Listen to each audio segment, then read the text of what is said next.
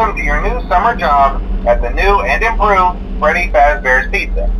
Uh, I'm here to talk you through some of the things you can expect to see during your first week here and to help you get started down this new and exciting career path. Uh, now, I want you to forget anything you may have heard about me for quite a while, but I want to reassure you, Fazbear Entertainment is committed to family fun and above all, safety. They've spent a small fortune on these new animatronics. Uh, should be paying them to guard you. Uh, now that being said, no new system is without its kinks. Uh, you're only the second guard to work at that location.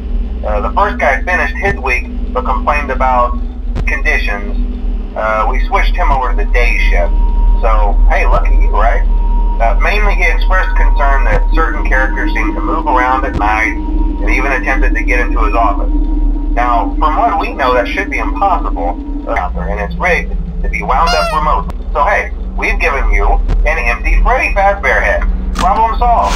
You can put it on any time and leave it on for as long as you want. Eventually, anything that wandered in will wander back out. Uh, something else worth mentioning is kind of the quirky modern design of the building. You may have noticed there are no doors for you to close. uh, but hey, you have a light, and even though your flashlight can run out of power. So don't worry about the place going dark. Well, I think that's it. Uh, you should be golden. Uh, check the lights, put on the Freddy head if you need to. Uh, keep the music box wound up. Piece of cake. Have a good night,